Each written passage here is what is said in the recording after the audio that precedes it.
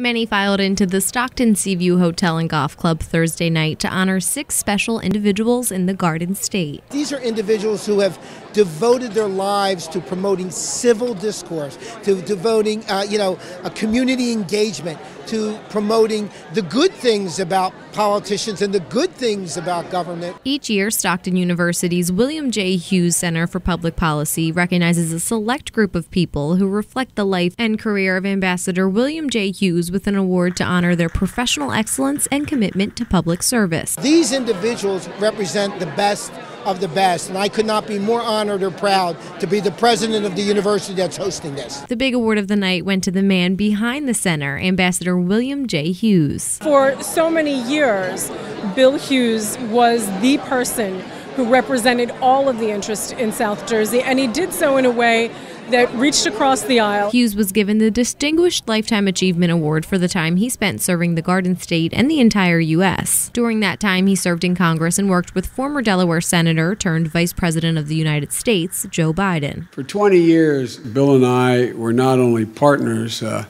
uh, in Congress, but uh, pushing things, uh, Bill pushing things on the House side, and while I was working on the Senate side on the exact same issues.